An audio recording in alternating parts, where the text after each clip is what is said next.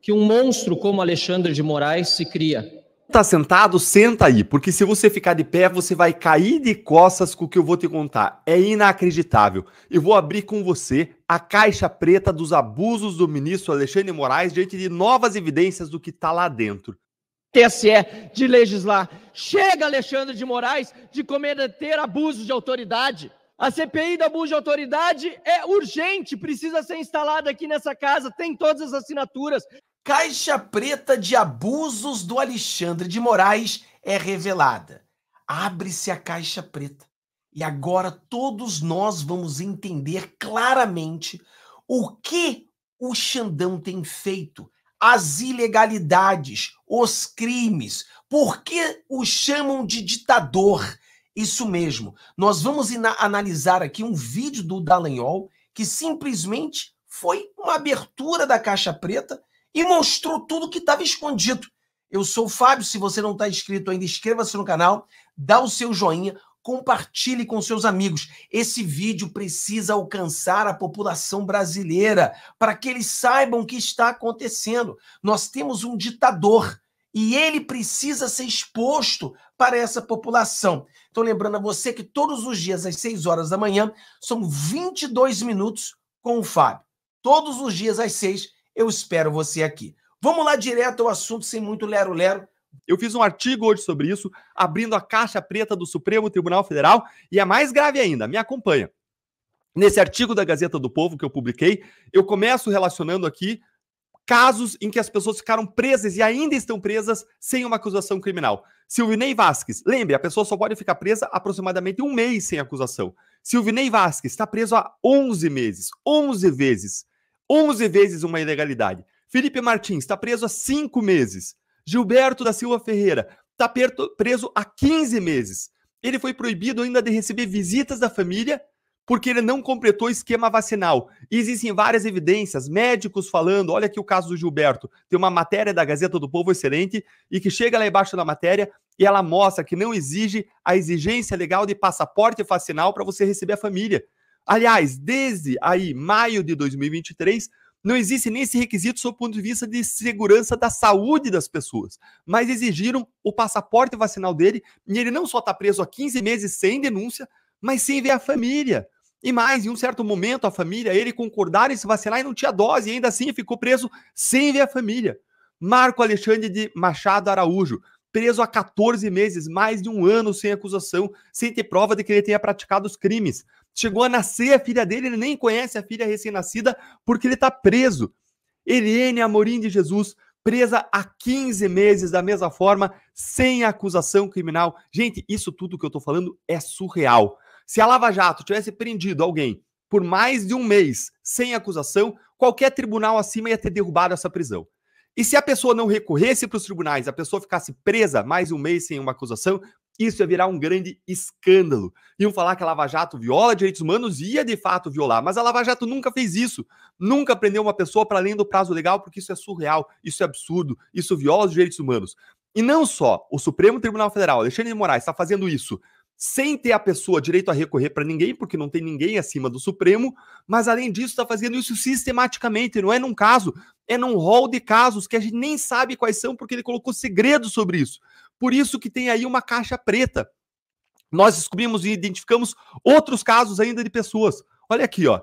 Anderson Torres. Aqui eu vou relacionar alguns casos de pessoas que ficaram presas vários meses sem acusação, mas agora, nesse segundo conjunto aqui de casos, as pessoas foram no final soltas ou então elas receberam uma acusação criminal. Anderson Torres ficou preso 13 meses, 3 meses sem acusação. Mauro Cid, 4 meses sem acusação.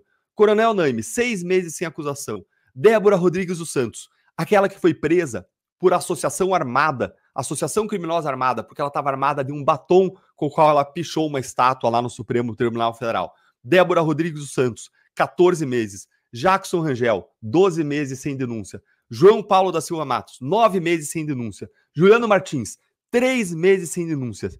Gente, isso é surreal, isso é absurdo. Deixa eu voltar aqui no caso do Marco do Marco Araújo. O Marco Araújo, ele foi diagnosticado com esquizofrenia. Ele toma remédio, ele está correndo riscos lá.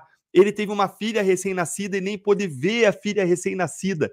Tudo por quê? Porque ele está sendo mantido preso pelo ministro Alexandre Moraes sem acusação, sem provas de que ele deveria ter ficado preso, de que ele deveria ser mantido preso. Mais uma vez, jamais aconteceu nada nem parecido com isso na Lava Jato. Se fizesse, se alguém fizesse, além dos tribunais soltarem, o juiz seria investigado, processado, os procuradores seriam investigados, processados, não só na corregedoria por infrações disciplinares, mas também nos tribunais, responderiam por crime de abuso de autoridade. Mas quando o ministro Alexandre Moraes faz, e não faz um caso, faz sistematicamente e coloca sigilo, ninguém faz nada. OAB está omissa, Procuradoria-Geral da República está omissa, Senado Federal está omisso, ninguém faz nada. Por quê? Porque ele é supremo, está acima da lei, está aqui nós também podemos agregar que é o seguinte: a mídia também está omissa. Né? Ninguém fala nada. A mídia está calada, a OB está calada, o Senado calado, os deputados calados. Todos estão calados com esses abusos que nós estamos vendo hoje nesse nosso Brasil. E o que vai acontecer é que isso só vai piorar. As coisas vão piorar. Quando essas coisas erradas acontecem e todo mundo se cala, a tendência é piorar cada vez mais. A tendência é o ditador ir para cima de todos, até mesmo aqueles que aplaudiram quando ele foi para cima deles, né? Essa coisa, quando está indo para cima do inimigo deles, eles estão aplaudindo. Depois isso se volta contra ele. Aí eu quero ver o que eles vão fazer. Né? Mas o, a omissão é da, geral, geral. De Moraes está cometendo tantos abusos, tantos abusos, que você vê, a mídia brasileira fica quieta, o Senado brasileiro está quieto, o Congresso geral está quieto, a OB está quieta. Mas o Congresso americano, né, a Comissão dos Direitos Humanos, eles não se calaram. Eles enviaram a carta para Alexandre de Moraes com sete perguntas para que o Alexandre de Moraes venha esclarecer todas essas acusações que estão sendo levantadas contra ele. Os Estados Unidos têm olhado é, para o Brasil não porque necessariamente os Estados Unidos gosta do Brasil, gosta de samba, não é isso, pessoal. Na geopolítica, o Brasil é um país muito importante. E você lembra que os Estados Unidos está aqui nas Américas e, e, o Brasil é o quintal dos Estados Unidos. Você não quer o seu inimigo no quintal. Você quer que o Brasil seja um amigo, como o Brasil é um amigo aliado. Mas agora, com Alexandre Moraes fazendo todas essas coisas e o Lula querendo fazer do Brasil um, um país comunista, então as coisas ficam complicadas. Agora, que aqui nos Estados Unidos, como tudo indica que o Trump irá ganhar essas eleições, nós estamos brigando aqui nos Estados Unidos para saber quem é que vai substituir o Biden. Vai ficar o Biden? Vai sair o Biden? O Biden fez uma, uma, uma, uma, uma, uma live agora, e, e ontem à noite, e, entre aspas, foi bem, não falou tanta cagada assim, mas ele reafirmou que vai ficar. Mas o Clooney, que é um dos grandes é, é, artistas aqui nos Estados Unidos, cara muito querido, ele é uma das grandes lideranças democrata, porque não somente ele doa muito dinheiro para os democratas, ele consegue fazer eventos aonde muitas pessoas doem dinheiro para o Partido Democrata. E o, o George Clooney ele já falou que não vai doar para o Biden. Ele disse que o Biden de hoje já não é mais um Biden que funciona que eles têm que trocar o Biden. Ou seja, o Partido Democrata começa a se dividir, começa a se distrair. E com essa distração, com essa divisão, o presidente Donald Trump aumenta cada vez mais, cresce cada vez mais a sua vantagem sobre o Biden. Tudo indicando que ele vai ganhar essas eleições. E essa indicativa, essa indicação de que o Trump vai ganhar as eleições, é muito problemática para os ditadores no Brasil. Nós sabemos que por trás do olho que tudo vê, nós temos pessoas grandes. Eu não acho que o olho que tudo vê é o, o, o, cabeça. Eu acho que, na verdade, ele é um pau mandado e está sendo obedecendo o sistema. E o presidente Donald Trump ganhando essas eleições pode ser que ele venha atrapalhar o sistema. Ele venha deixar com que esse sistema venha. Vai, vai ter que mudar. O sistema não pode continuar como está. Mas, como eu falo para você, o absurdo que a gente vê aqui é que o Brasil todo escalado, claro que você não, eu não. Nós estamos falando, grandes youtubers aí estão brigando contra isso. Mas a grande meio de comunicação, é, a televisão, os jornais e os nossos congressistas, com, com certas é, exceções, mas o presidente da Câmara, o presidente da Casa, eles estão calados. A OB calada. Ninguém fala nada. É uma omissão total. Então a gente vê essa diferença como com um país é, como os Estados Unidos, eles já falam, eles vão para cima do Alexandre de Moraes, e no nosso país eles, eles ficam, estão quietos. Eles estão quietos. Então a pergunta é: será que eles são cúmplices? Será que estão junto com Alexandre de Moraes? Cara, o que eles estão fazendo com Felipe Martim é algo assim de outro mundo, de outro nível. Já morreu um, o Clesão na cadeia, já morreram mais fora. Agora o pai do Gilberto teve um AVC e está internado. Depois de fazer um vídeo indignado com a situação do filho preso injustamente, um inocente há mais de 15 meses. Cadê a esquerda para defender direitos humanos? Eu quero aproveitar o momento que nós. É, aqui você vê o nosso querido deputado falando um monte de verdade, né? Cadê a esquerda hipócrita? Cadê os hipócritas que defendem os direitos humanos? Pessoal, a esquerda nunca defendeu direitos humanos, nunca defendeu os negros, nunca defendeu as mulheres. Eles sempre defenderam o poder. Eles sempre defenderam a eles. Esse negócio de direitos humanos é esquerdismo deles. Não é defender direitos humanos. É defender a esquerda. É estar no poder é usar o que eles podem usar, tudo que tiver ao seu alcance, para continuarem no poder. Essa é a grande verdade. Nós precisamos frear os abusos do ovo que tudo vê. Precisamos frear esses abusos. A caixa preta foi aberta. Agora é momento de fazer uma CPI para investigar esses abusos, para olhar com mais detalhe dentro dessa caixa preta, dessa caixa preta, né? Vamos lá. Aqui que um monstro como Alexandre de Moraes se cria. Um monstro covarde como Alexandre de Moraes. Eu recebi agora há pouco, senhor presidente, um vídeo do pai de Gilberto da Silva Ferreira, que está há 15 meses preso sem denúncia, por ordem de Alexandre de Moraes que não lê os processos. Falam aqui de direitos humanos, de direitos a cotas, de defesa das minorias. E os presos pelo abuso de autoridade de Alexandre de Moraes?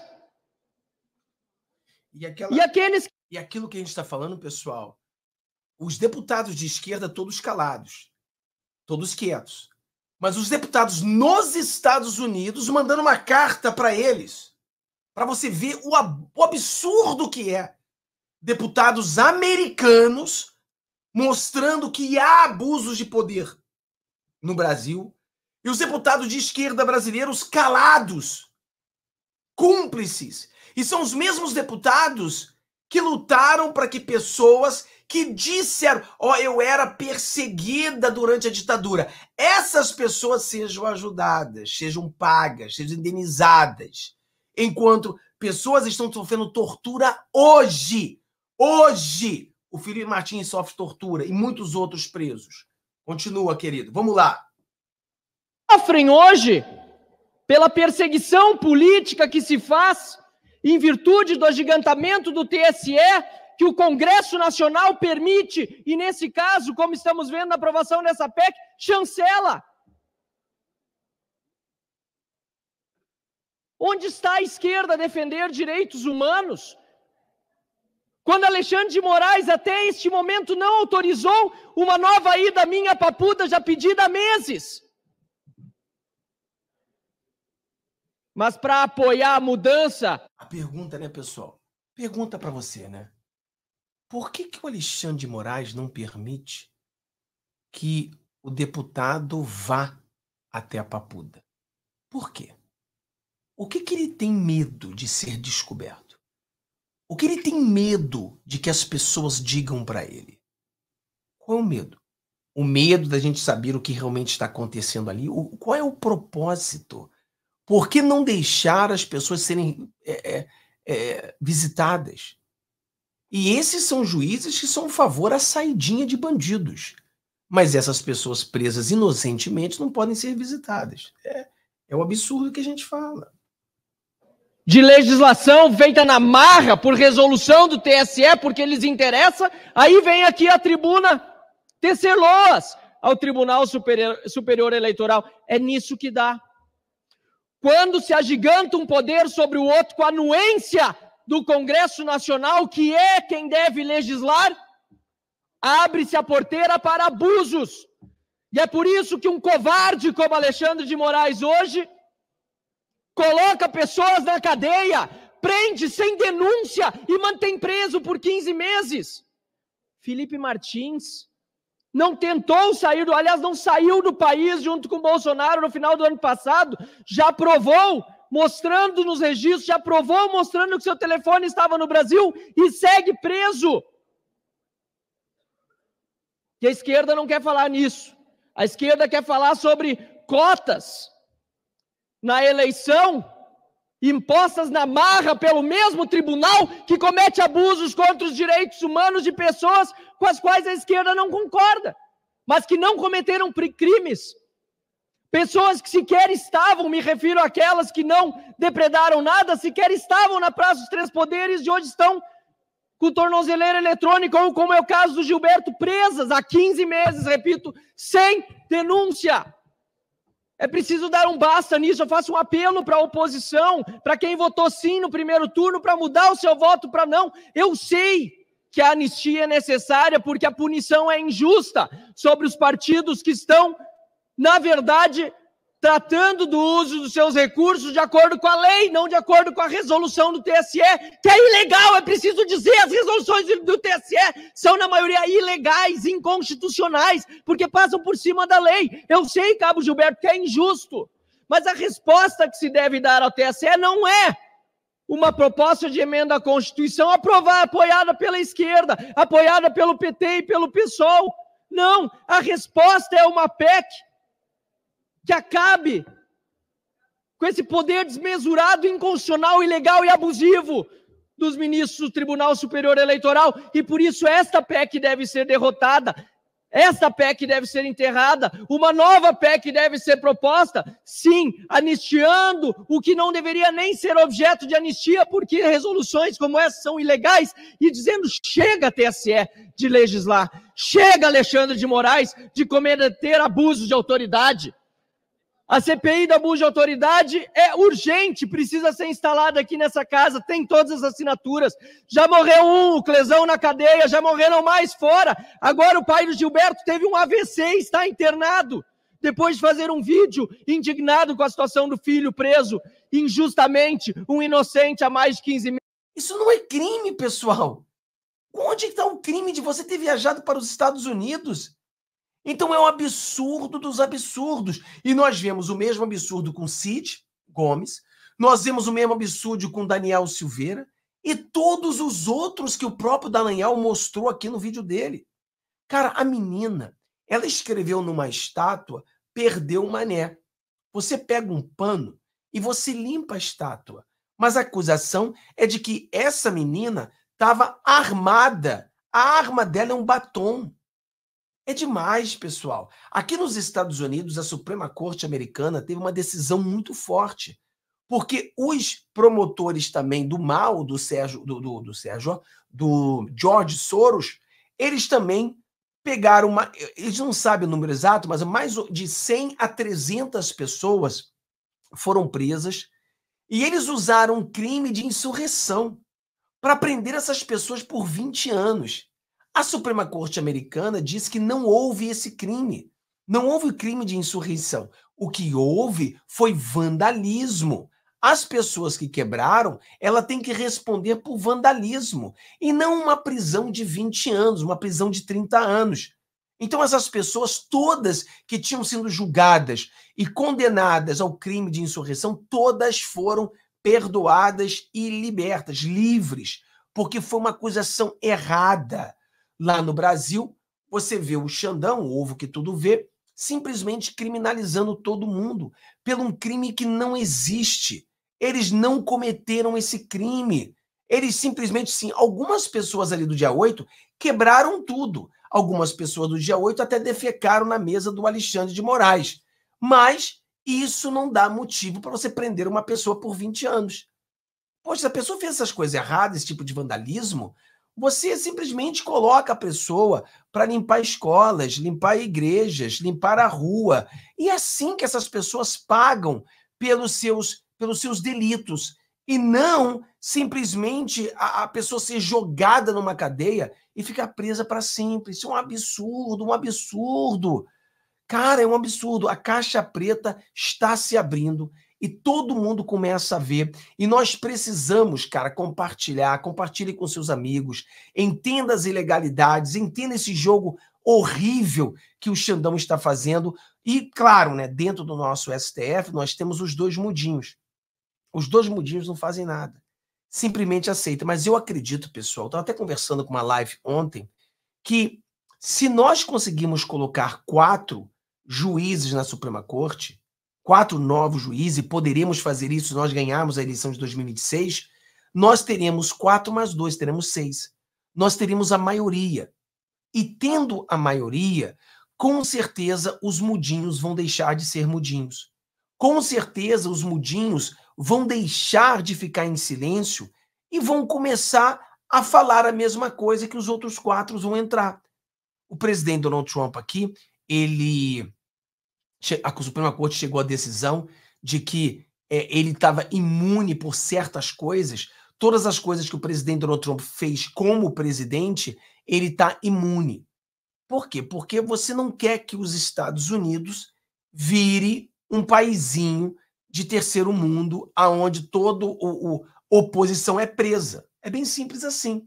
Então, essa, essa, essa decisão da Suprema Corte americana faria com que o, Brasil, o, o Bolsonaro voltasse à elegibilidade. Bolsonaro estaria de novo elegível para participar de qualquer tipo de campanha de eleição.